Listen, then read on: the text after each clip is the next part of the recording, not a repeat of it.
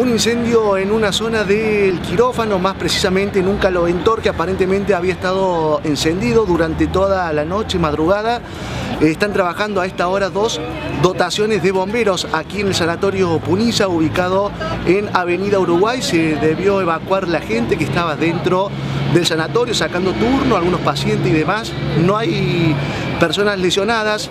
Lo concreto es que el incendio se habría concretado en un caloventor que está ubicado en la zona del quirófano. Trabajan dos dotaciones de bomberos y han evacuado justamente por precaución para que eviten inhalar humo dentro del sanatorio Punilla. Vemos algunas imágenes de lo que se puede observar el momento en que la gente ha sido, eh, se le pidió que se le retiren hacia afuera y además eh, vamos a escuchar también la palabra de eh, la gente de bomberos que trabaja aquí en el lugar. Teniente, ¿se estuvo trabajando en un incendio eh, declarado aquí dentro del sanatorio Punilla?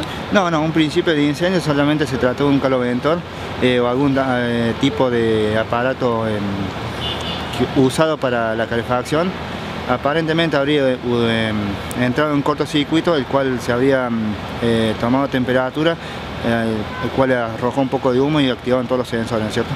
Bien, ¿no hubo personas lesionadas? No, gracias a Dios no hubo mm, solamente una evacuación por prevención en la, primera, en la parte baja del sanatorio, la cual se hizo solamente por prevención, ¿cierto? Pero estaba con todas las medidas de seguridad y los sensores funcionaron bien. ¿El fuego, digamos, o la temperatura se centró únicamente en este artefacto o también tomó algún otro sector del sanatorio? No, únicamente en la sala que estaba puesta el cicloventor eh, solamente el, resto del pasillo fue la invasión del humo, nada más que es un humo denso por el tipo de plástico que se quema. ¿En la zona del quirófano donde estaba el artefacto, el caloventor? En cercanía del quirófano, ahí aparentemente por esa zona. ¿De los internados no se debió evacuar a nadie? Eh, solamente se movían algunas personas por prevención, la cual... Eh, por las dudas por el tema del humo, ¿no es cierto? Pero, humo, ¿serio? Exactamente, eh, ya que se trata de personas de alto mm, riesgo, de la salud, eh, se tomó la decisión de, correrlo del lugar no evacuar. Eh, Ochoa, ¿cuántas dotaciones trabajaron aquí en este sector?